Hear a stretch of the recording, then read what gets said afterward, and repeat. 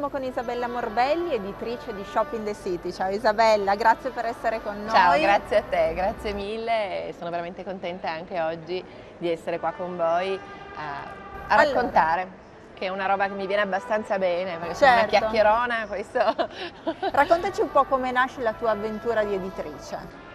Dunque, io nasco, Shopping the City nasce otto anni fa, in realtà eh, è, stato, è, stata un'idea mia e di mio marito, eh, per cui otto anni fa abbiamo deciso di eh, lanciare un prodotto che su Torino non ci fosse, di cui ci, probabilmente si sentiva la necessità, un prodotto che fosse eh, free, quindi gratuito assolutamente, noi facciamo 30.000 copie ogni numero, bimestrale gratuito che, che potesse arrivare alla gente, che potesse essere il consiglio di shopping, quindi sfogliabile eh, in modo eh, da avere notizie di Torino, della città, dello shopping, eh, leggibile proprio, con dei contenuti. Per che cui... Torino viene fuori dalle pagine di Shopping the City? Ma eh, Shopping the City è uno slow shopping, viene fuori un po' la Torino che ha voglia di produrre, quindi il gusto dei negozianti che hanno un plurimarca attraverso i prodotti che loro scelgono delle varie collezioni,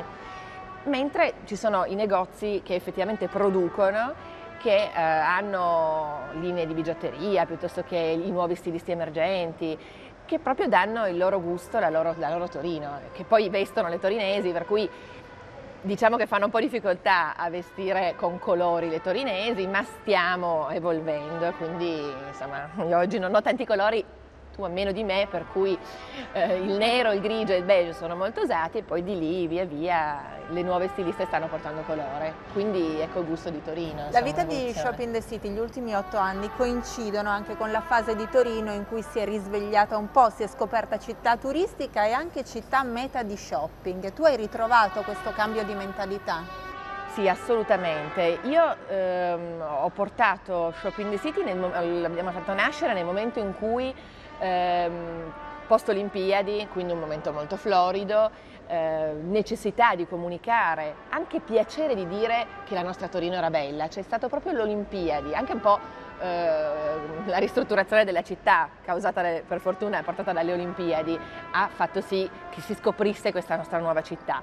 Poi c'è stata una crescita, 2009 la grande crisi è cominciata a livello nazionale, sul locale si è andata a sentire secondo me un po' di più nel 2011, per cui adesso proprio dire che siamo, è difficile raccontare una Torino florida, una Torino mh, mm, ricca, però sicuramente abbiamo riscoperto altri valori. Io credo che anche questa crisi profonda ci faccia guardare un po' dentro le tasche, no? Allora, allora siamo andati fino in fondo, in fondo, in fondo e scopriamo noi stessi torinesi di avere delle bellissime piazze, delle bellissime chiese, eh, dei monumenti storici che sottovalutavamo. Ehm, a naso in su scopriamo effettivamente, e questo è proprio il caso di dire a naso in su in questo luogo, scopriamo Essere un po' turisti in casa propria. Assolutamente anche. sì, soprattutto c'è un'indagine eh, che racconta come i torinesi, i ragazzi torinesi giovani eh, stanno proprio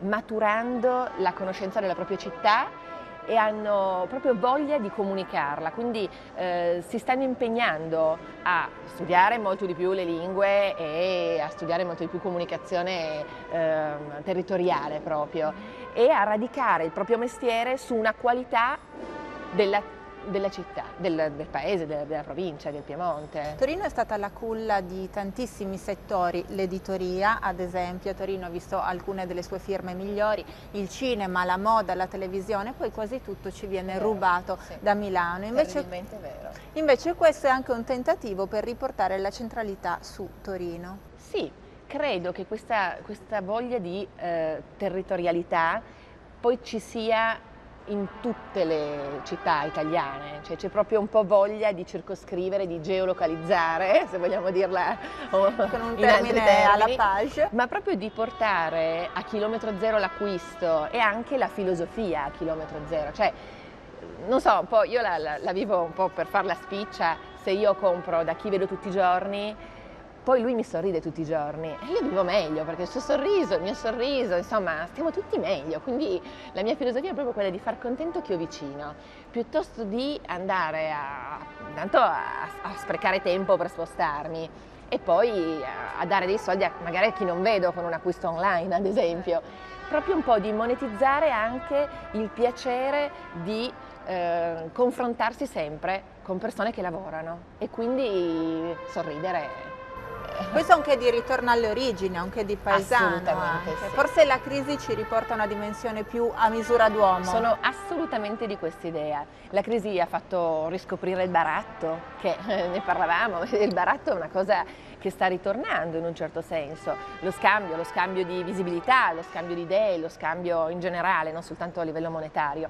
Per cui sì, si torna un pelo indietro. Si, si, infatti io con un cartaceo sto andando abbastanza bene perché comunque c'è visibile. Anche tu però ti sei votata al digitale. Assolutamente. Secondo me eh, non possiamo non vederlo, non vedere il fatto che comunque online eh, bisogna avere il sito, bisogna farsi riconoscere. Tra l'altro ci sono due esigenze adesso nei negozianti quella di comunque avere un sito e avere un sito eh, ben fatto, visibile, aggiornabile facilmente e la seconda necessità è quella nel momento in cui vanno all'estero, magari in fiera a Parigi piuttosto che anche soltanto a Milano, in alcune fiere, nel momento in cui acquistano delle collezioni hanno proprio bisogno di far vedere il loro sito e di raccontare la loro azienda attraverso un sito di bella, di bella faccia, aggiornato, insomma. Quindi c'è questa doppia funzione della visibilità online per i nostri negozianti. A cui tu hai risposto? A cui ho risposto proprio in questo, in questo, periodo, stiamo mettendo a punto, più che mettendo a punto, proprio già lanciando, abbiamo già raccolto 10 clienti che per noi, eh, 10 negozianti, sono proprio la start-up. Questi 10 faranno insieme a noi il nuovo prodotto che si, tra, mh, mm, si tratta di una, eh, un sistema che permette ai negozianti di avere visibilità eh, online attraverso una one page che è un sito verticale che si può scrollare, molto leggero, fruibile, quindi assolutamente premiato dai motori di ricerca, attraverso un'applicazione, un'applicazione eh, effettiva del cliente, a tutti gli effetti del cliente, che permette di avere delle attività push, per cui eh, io negoziante posso comunicarti che ho lo sconto oggi su quel prodotto, piuttosto che eh, il posto per la mia mm, attività di servizi, ad esempio parrucchiere, o il posto libero a quell'ora e quindi ti posso dare un'agevolazione di prezzo. Um, un sistema che quindi mi permette di aggiornare la one page e l'applicazione attraverso il mezzo che tutti oggi usano che è Facebook.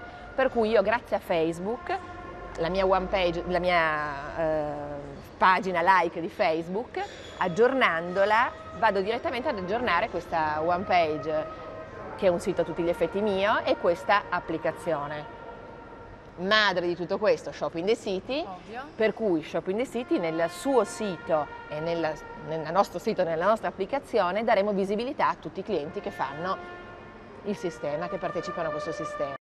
In questo momento in cui tutte le certezze anche dal punto di vista lavorativo vengono un po' diciamo squadernate dal, dalla crisi e la flessibilità è la parola d'ordine, anche i negozianti devono mettersi da questo punto di vista venire incontro alle esigenze di chi ha degli orari sempre più flessibili, il che spesso significa sempre più scomodi per fare gli acquisti.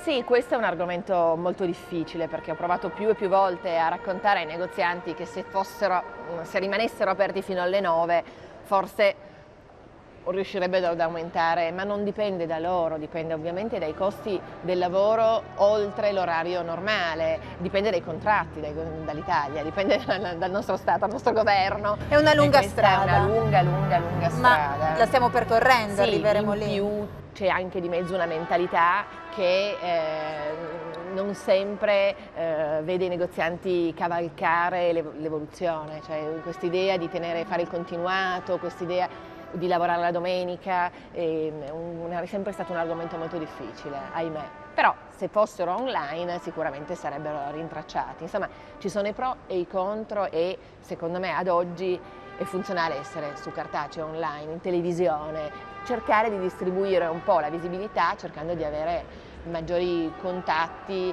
eh, e e mirati alle persone giuste poi. La donna torinese, il prototipo di donna torinese, che tipo di acquisti fa? Di pancia, di testa, in quali settori merceologici? No, di testa. Allora, sicuramente la donna torinese acquista di testa dalla mia esperienza posso dire di aver visto veramente tante donne di classe, perché la donna torinese ha classe, ha charme eh, e anche proprietà intellettive, perché devo dire che quasi sempre la donna facoltosa, comunque che ama fare shopping, torinese riesce, riesce ad essere una donna affermata anche nella vita e quindi è uno shopping pensato e mirato, è uno shopping che valorizza i negozi che valgono i negozi capaci di eh, trovare prodotti o di produrli, abbiamo detto, e quindi è una donna difficile poi da accontentare in effetti, eh, eh, ricercata, che ama vestirsi in modo diverso dagli altri, che, a cui non fa piacere assolutamente far sapere dove ha acquistato i prodotti, quindi